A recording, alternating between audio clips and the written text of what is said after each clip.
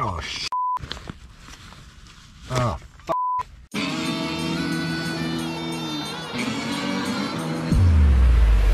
What I hold here in my hand is something I actually forgot I had. It's a British Army canvas tent from World War II. So about a year ago, we had a look at this old British Army World War II bivouac canvas tent. And I was actually reminded of this tent by Military Collectibles who had commented on that review video. And he told me that this here tent is actually a roof. Military Collectibles states the proper method of using one of these army tents is to first dig a trench and then the tent goes over the trench and you live in the actual trench. And now, here we are.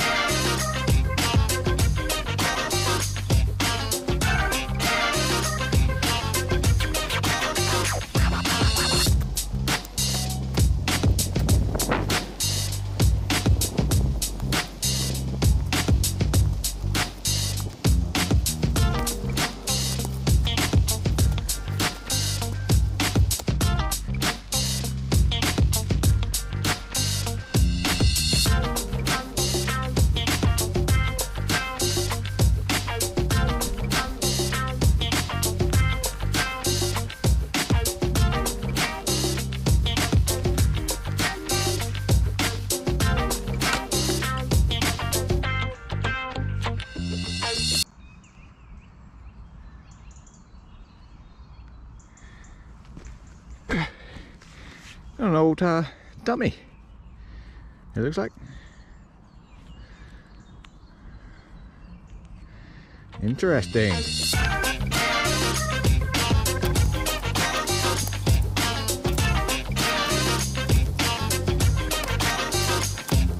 The smolder ceramic here too.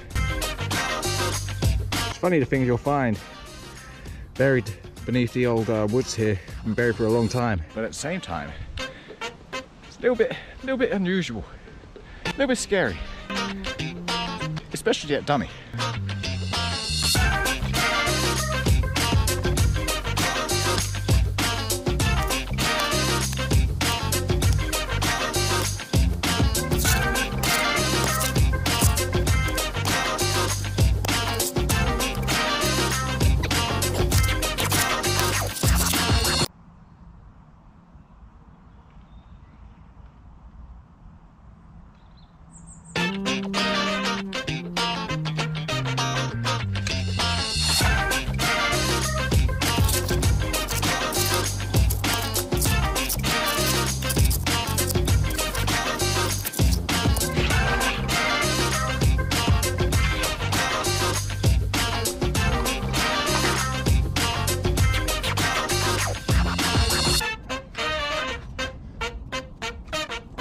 I could use a bilge pump.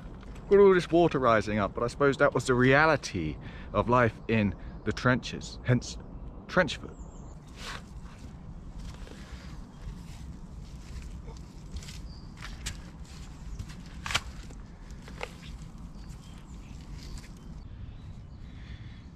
So I'm gonna cease digging down now because we have to sort out some kind of drainage here because we're just gonna get flooded out. I don't know dig out the edges a bit more. Let's see. Ah, this would have been so much easier with an excavator. I should have contacted primitive technology. But I can't get an excavator down here.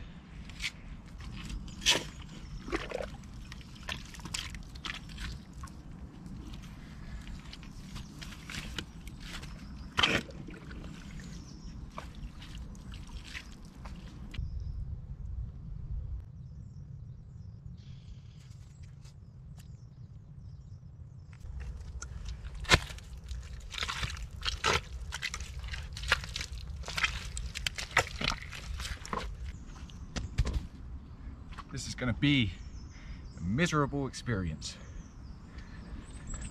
But I guess it, it beats getting hit by shrapnel.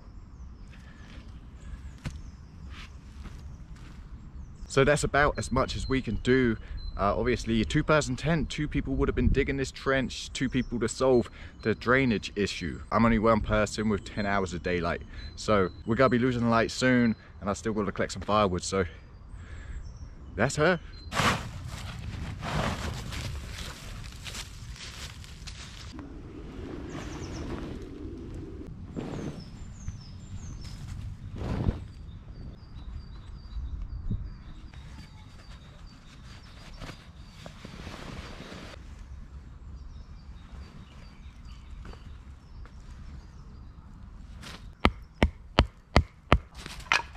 Check out these tent pegs. These are real tent pegs. Beefy. But right now the aim is just to not let that canvas tent fall in the trench and get wet. That's the aim. So it's going to look a little bit ragged to start with. Just to peg it down, just to hold it so it's not going to fall in the trench. And then we can cinch it all up and make it look nice.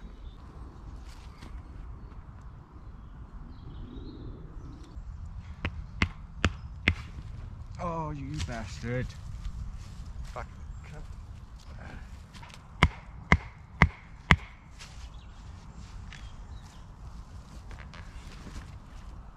Fucking again.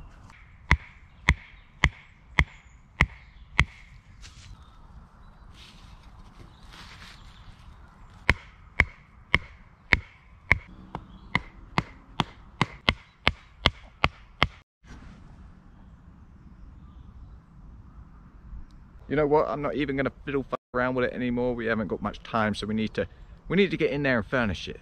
So because i knew it was going to be a bit of a dirty job i brought out this uh, vango hush camp bed little camping cot just to keep us off the ground.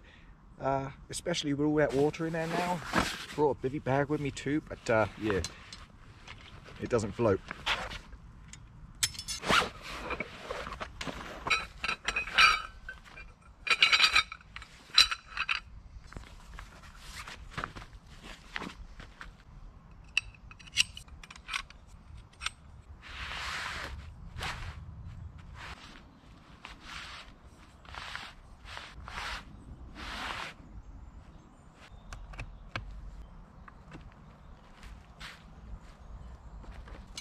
make sure they're in tight. Because if not, they'll fling out and crack you in the face.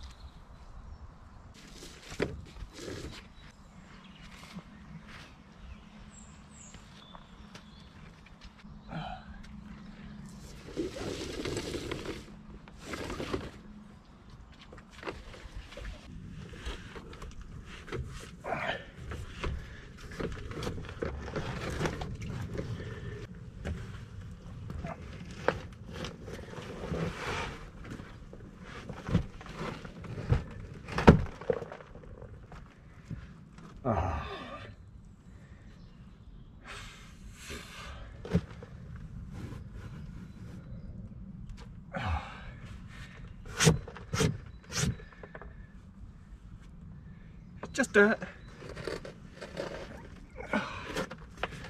Okay.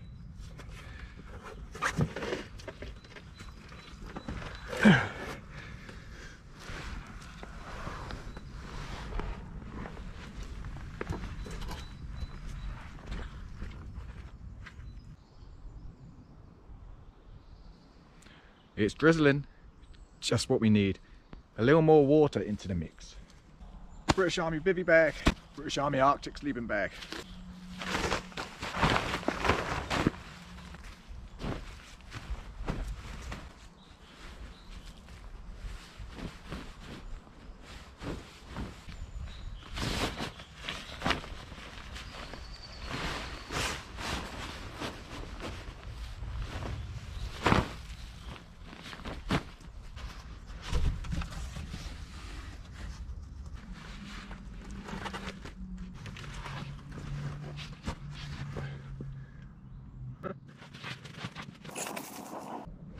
Is this end.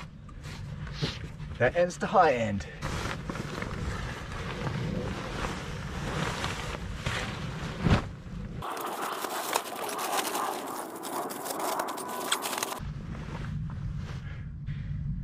Done.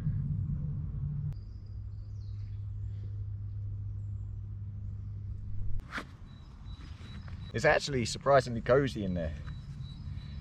That is till that water rises. Gonna have to keep an eye on that.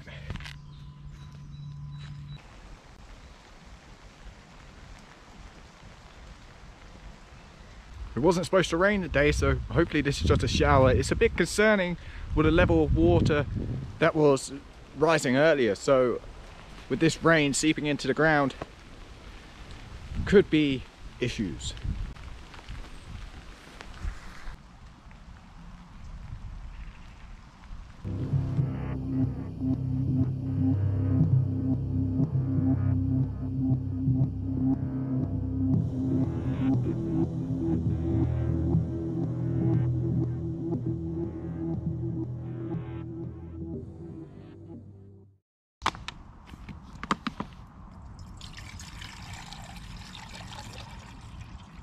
So we've got the old uh, firewood stocked, lit, just been chilling by the fire. Now it's time to eat. I've got this all day breakfast left over from uh, that combat ration. So this is our dinner.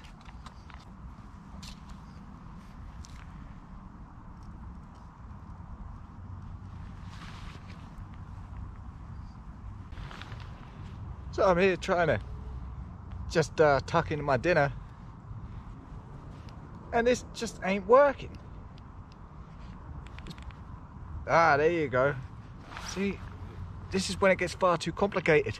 I was getting a little antsy right there. Jesus. What's next? Fucking thing. So I'm not the biggest fan of the old all-day breakfast, but when you've been digging a whole trench by yourself, it's not bad. Got some decent stuff in here too. Decent, you know, a few sausages.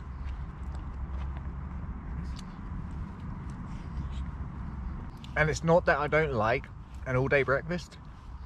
I don't like my beans touching anything else. And uh, and this is touching everything.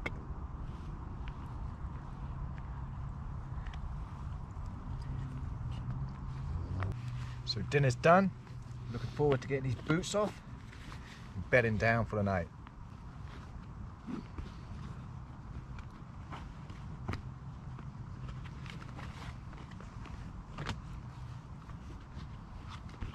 So this bug mesh here, according to some research, a lot of the troops actually cut this off because it just got in the way. It uh, hindered them from getting in and out and uh, I totally get it.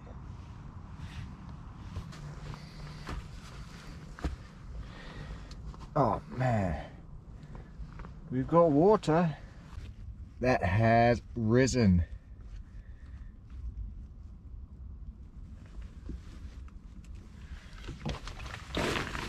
Oh shit. Oh. Okay.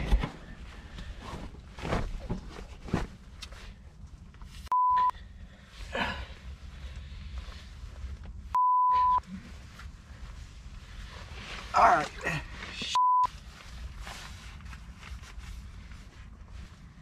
This is terrible. Boots go back on. I don't know how wet our our gear's gonna be. But we gotta get it out. Because we can't sleep in here now.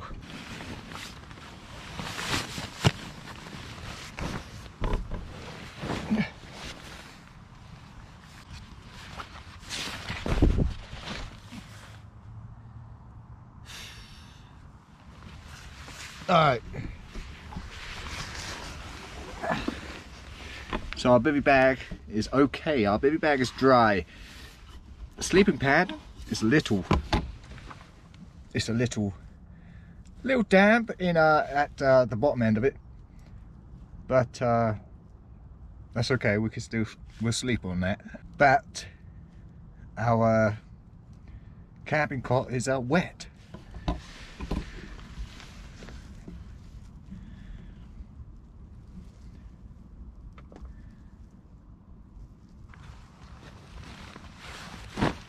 That ain't no fun. Didn't even begin. It's a shame because it was pretty cozy in there earlier.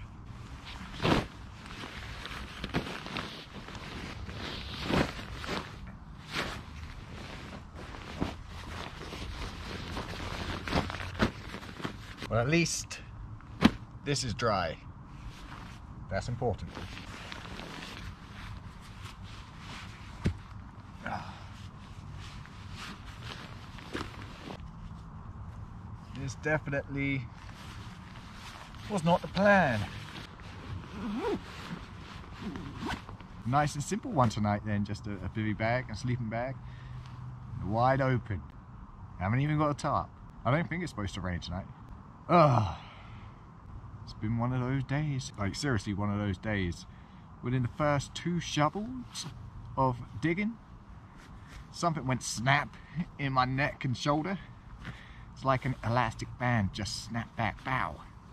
And it's been pretty tight ever since, so uh, that was uh, that was hard work. All for nothing. Oh well, I suppose I will catch you guys in the morning.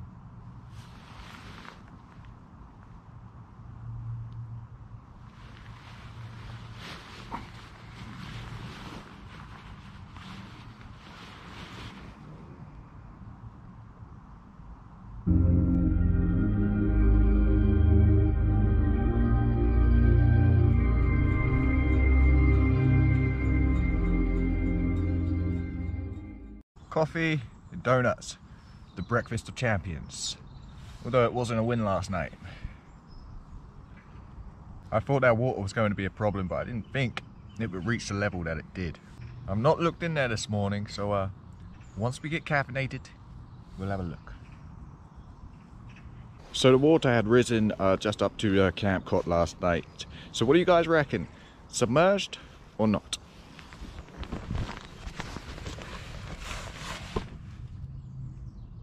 Submerged.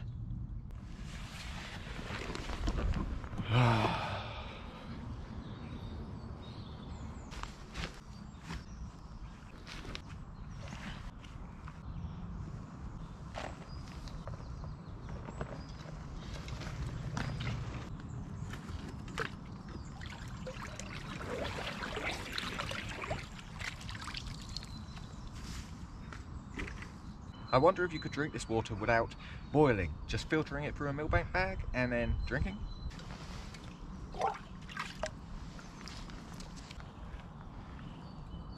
It's not survival. It's not a survival episode.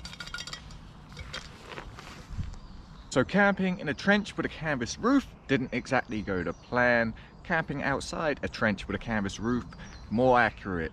I'm now going to fill this hole in and then go and have a bath. So we'll see you back in the backwoods.